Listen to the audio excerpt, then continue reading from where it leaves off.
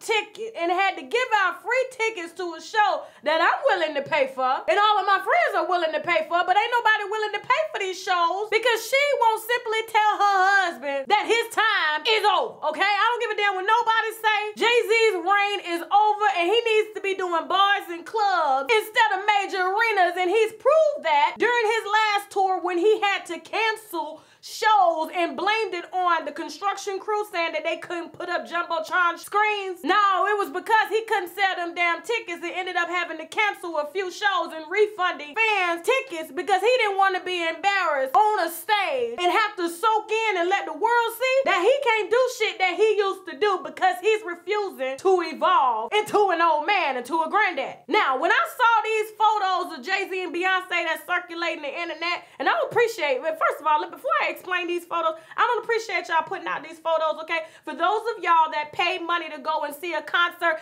enjoy the concert. Everything don't need to be on social media, but I appreciate you putting out the photos just so I can reiterate to y'all that some things in life should only be for you and not everybody else because if everybody else was supposed to be there, they would have paid for tickets like y'all and they would have been there, but they didn't, okay? And so this is one of the reasons why Beyonce and Jay-Z can't sell no damn tickets is because y'all are giving us a free damn show. So if I can see it on Instagram and on YouTube, what makes you think I'm about to pay them anywhere from $342 all the way up to $1,800 to see a show? And it's not just any show, it's a show that Beyonce did at Coachella, okay? Thank you for the pictures. And it's also a show that her and Jay-Z both did last year during his 411 tour and her Lemonade Tour and their first On the Run World Tour 1, okay? Because this is On the World War 2. Did I? Damn, I'm getting tongue tied. On the Run World World Tour 2, okay? That came out right. That ain't had nothing to do with the wine. Mm -hmm.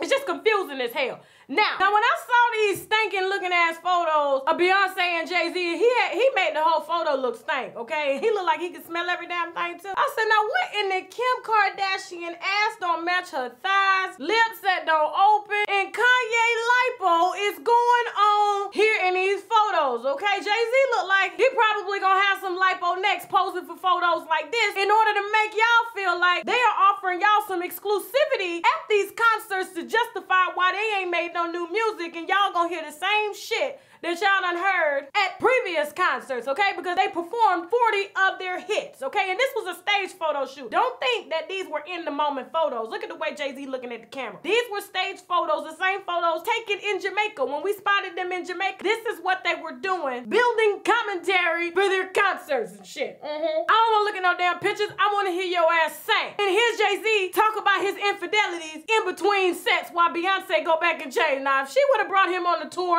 to talk about him cheating while she in the back changing. I think they would have had one up on this concert and wouldn't be giving out free tickets and letting folks know on Twitter where to get them from. Mm-hmm. Now.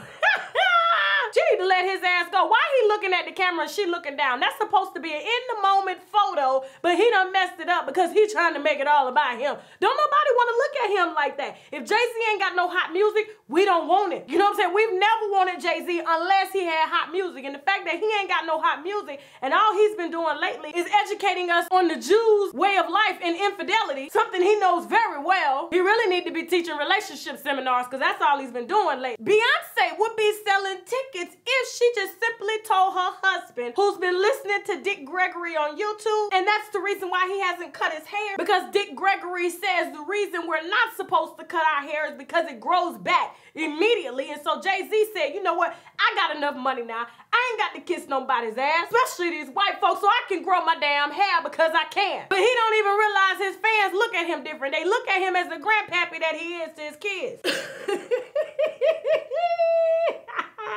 I got that cough in Amsterdam and I ain't gonna tell you why.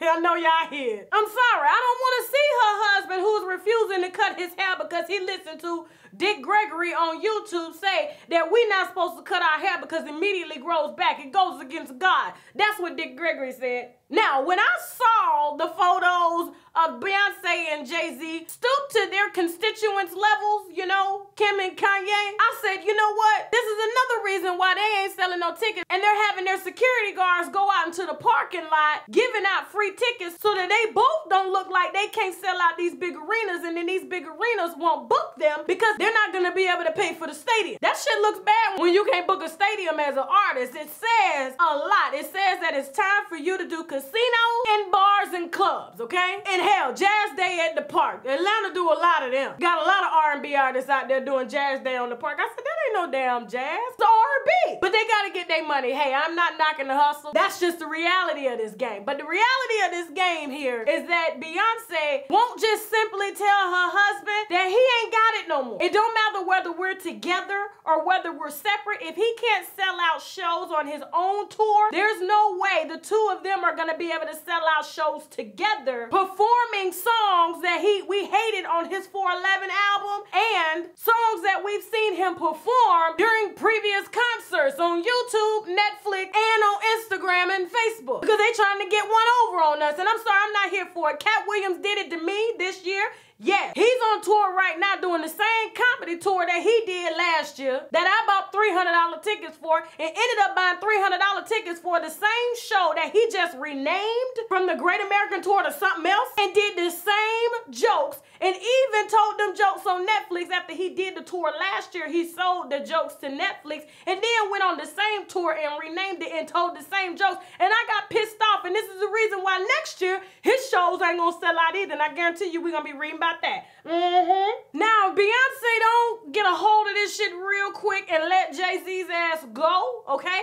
Had that hard conversation that a lot of women are afraid to have when they're bigger than their husbands and they make more money than their husbands. They gotta have a hard conversation to let him know that he just ain't got it no more. And it doesn't make him less than a man. It's just his time to evolve into something else, okay? And Jay-Z's an excellent businessman, but I see that she think like a lot of women who are afraid to tell their men the truth because he may go off and screw somebody else and look at him as somebody they need when they, she don't really need his ass. They're putting this together like they need each other, but she don't need him at all. And if she don't get rid of his ass on this tour and on this music thing and just separate and just say Beyonce, she gonna be playing casinos like Mariah Carey mm-hmm. and performing on New Year's Eve. All right, you know them performances right there. Now, now I gotta go. Y'all hear my cough? Yeah, I was smoking so much in Amsterdam. But listen, before I go, okay, before I tell you what I'm drinking, and I hope y'all are setting y'all alarm clocks for Fuckery Friday, okay? It's gonna be between 6 and 8 p.m. this Friday. Get your wine Put your kids out. Get your fuck on this fuckery Friday, okay? Now, before I go, all right, for those of y'all, I get so many questions and emails about wine. And this is a great company that I'm affiliated with. It's called The Tasting Room. If you want to expand your wine palate, okay, if you want to drink wines that you normally wouldn't order or buy at the grocery store or at a restaurant, okay, I highly recommend that you let The Tasting Room evolve your, your tasting palate so that you won't go out and waste your money, okay? I got a little bit of money to waste. If you want to expand your tasting palette, all for $6.95, this wine kit of six different wines curated from all over the world based on your own flavor profile, okay? You go to this website that I'm gonna provide the link to below this video in the description box as well as in the comments, okay? It's gonna ask you three questions, whether you like berries or fruit, how you like your coffee, and whether you like dark chocolate, chocolate, and no chocolate at all. And from that, it's gonna curate six different bottles of wine that you probably normally wouldn't have tried on any given day, all for $6.95 for a limited time span, okay? It's called a Tasting Room, and the link will be below. I highly recommend this if you're trying to expand on some shit, okay? We should always be trying to evolve in life, y'all. Mm-hmm. Now, before I go, okay, I am drinking. All right, I was drinking. It's got me toe up right now. Mm-hmm. First, y'all like my wine glass? Shout out to Bully Music Gang for this wonderful wine glass. Cover my damn face. I just ain't got my mohawk today. Shout out to Bully Gang Music. Now, I am drinking a specialty that I got in Spain, okay? Spain, okay? It's called the Castillo de Gredos. All right, this is a Vino Blanco, which means quality dry white wine, okay? And dry white wines typically complement, you know, lighter foods like white foods like salads, alfredos, seafood, especially saltier foods. I love to drink dry white wines with saltier foods because I drink more and I tend to flush the salt out of my system with this wine, okay? And I want to drink more water as well. Mm-hmm. And you get light aromas of citrus and lime and some pineapple in this. And I'm going to be honest with you, I know that I just made it sound really good, but I honestly got this on my vacation in Spain, and unfortunately, you can't get it here. And I'm so sorry, but it is amazing though. But I will leave the link below just in case this company decides to ship out, okay? But this is just a bonus that I brought back from Spain while I was on vacation getting all dried out, okay? I ain't got no more cum left in me, okay? Shout out to my husband for that shit, all right? Thank you all so much for watching. I missed y'all. If you like this video, subscribe.